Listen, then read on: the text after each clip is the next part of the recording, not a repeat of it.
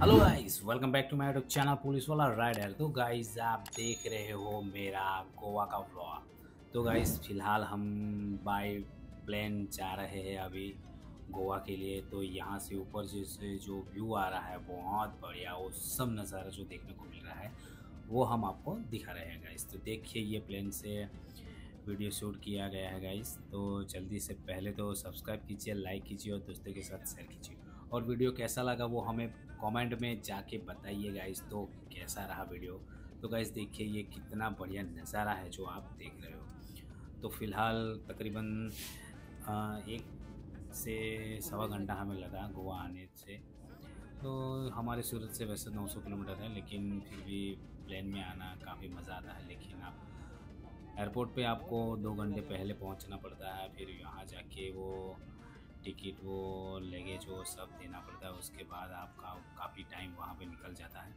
लेकिन आप कम समय में इतना ज़्यादा ट्रैवल कर पाते हो। तो गाइज़ आप देख रहे हो कि यहाँ पे जो व्यू है, वो बहुत अच्छा सा मैं पहली बार निकला था ट्रैवल के लिए तो काफ़ी अच्छा लगा। ये हम लैंड हो चुके हैं कहाँ पे? गोवा पे। ये देखिए प्लेन अभी टेकअप हो रहा है यहाँ से जाने के लिए लेकिन फ़िलहाल हम पहुँच चुके हैं। ये देखिए ये गोवा में जो एयरक्राफ्ट प्लेन है वो देखिए जो युद्ध के विमान बोले जाते हैं काफ़ी बढ़िया व्यू है। सही में आपको एक बार देखना चाहिए। बाई प्लेन आपको ट्रैवल करना चाहिए काफ़ी अच्छा रहेगा। हमने काफ़ी दिनों बाद यानी कि छः महीने पहले हमने बुक करवा दिया था।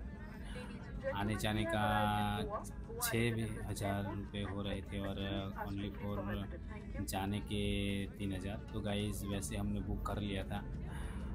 और गाइस देखिए हम पहुँचे हैं गोवा एयरपोर्ट पे। यहाँ पे जो काफ़ी क्लीन दिख रहा है गोवा एयरपोर्ट और ये जो बहुत बढ़िया एयरपोर्ट है। और फ़िलहाल जो हम पहुँचे हैं इंडिगो प्लान में, काफ़ी सस्ता होता है इंडिगो प्लान में गाइज़ आप देख रहे हो कि यहाँ पे काफ़ी सारे कर्मचारी गण हैं। ये ट्रैक्टर देखिए कितना बढ़िया है, वो आपको लेने आ रहा है। फ़िलहाल हम पहुँच चुके हैं गोवा प्लेन से बाहर निकल रहे हैं।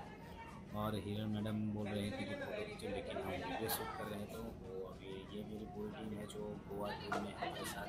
काफ़ी कपल थे, बच्चे थे और कजिन्स थे।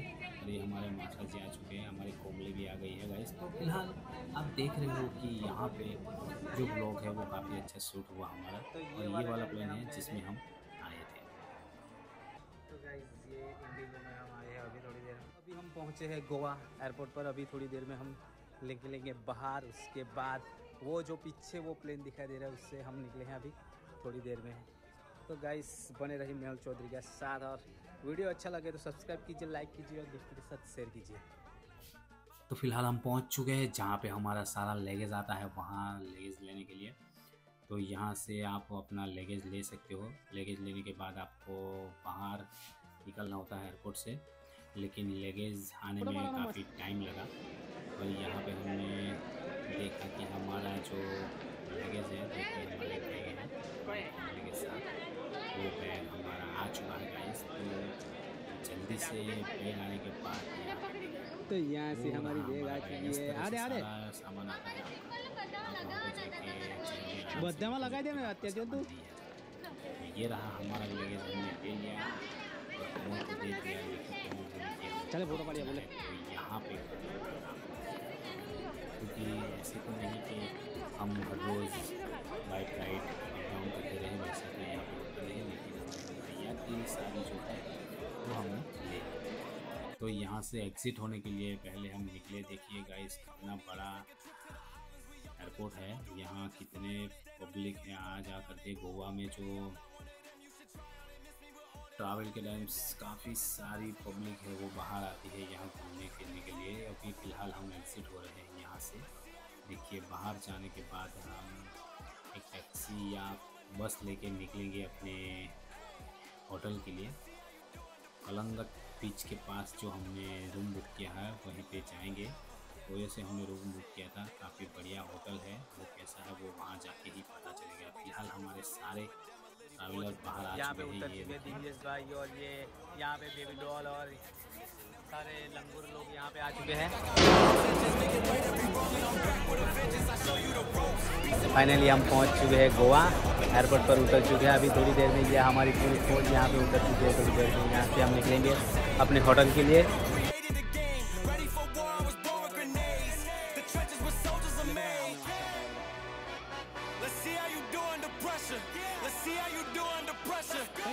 हो चुके हैं गोवा आगे और यहाँ पे काफ़ी यहाँ पे हमारी पलटनों का तो गाइस हमारी पूरी टीम यहाँ पे उतर चुकी है गोवा और बहुत एक्साइटिंग है घूमने के लिए, लेकिन थकने के बाद सो जाएँगे अभी।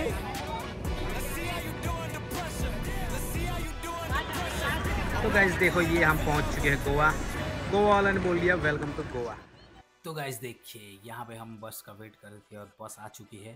तो ये बस है, हमें ले जाएगी कलंगट। कम से कम यहाँ से हमें डेढ़ घंटा लगेगा कलंगट बीच तक जाने के लिए, क्योंकि शाम हो चुकी है, रात का टाइम है तो रास्ता भी काफ़ी ट्रैफ़िक होगा तो धीरे से चलेंगे। और गाइस देखिए, सारे हमारे ट्रैवलर बैठ चुके हैं बस के अंदर। तो गाइस बताइए आप कि कैसा लगा वीडियो आपको? सब हम बैठ जाएँगे यहाँ से। हमारे पास ट्रैवल वाले ने कम से कम ज़्यादा पैसे लिए, क्योंकि यहाँ से सब लोग आते हैं, इतने ज़्यादा लोग आते हैं तो ट्रैवल करना पड़ता है, क्योंकि यहाँ से वहाँ जाना काफ़ी कठिन है। गाइस तो पहले तो हम बैठ चुके हैं सभी लोग। तो ये देखिए गाइस सब हैप्पी है जाने के लिए। और ड्राइवर साहब बैठ चुके हैं जाने के लिए। तो गाइज़ यहाँ से निकलते हैं। जो कलंगट तक का रास्ता है वो काफ़ी बढ़िया है। गाइस देखिए ये ब्रिज इतने बड़े सुपर है दरिया के ऊपर तो सही में आपको देखने में मज़ा आएगा। गाइज़ देखिए ये व्यू इतना सुंदर और ये समुंदर के ऊपर जब ब्रिज बनाते हैं तो आपको केबल ब्रिज के पास केबल ब्रिज बोला जाता है। इसे हमारे गुजरात में है भरूच। लेकिन फिर भी यहाँ पे भी देखिए कितना बढ़िया ये तो छोटा है लेकिन क्यों समझ में तो यही सारा नज़ारा आपको देखना चाहिए। तो सही में आप एक बार ज़रूर आइए अपने गर्लफ्रेंड और अपनी वाइफ के साथ या फिर सही में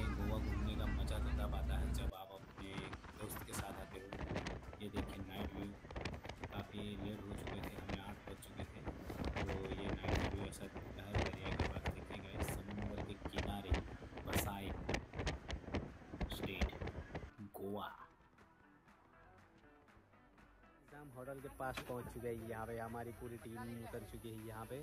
देखिए थोड़ी देर में। फाइनली गाइस देखिए तो ये वाली होटल में हम रहने वाले हैं अभी थोड़ी देर है तो यहाँ पे कैसा रिव्यू। बारह सौ रुपये पे यहाँ पे गुजराती के फेवरेट चाय नाश्ता कर रहे हैं। और खाने के चाय। बाद वहाँ टेबल गुजराती लोग वैसे थेपला और चाय ही खाते हैं।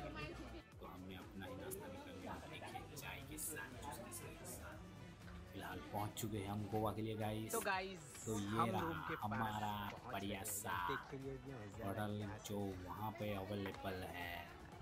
स्विमिंग पूल के साथ। यहाँ पे बहुत बढ़िया स्विमिंग पूल है। साथ में एंजॉय करेंगे मस्ती करेंगे और नाचेंगे।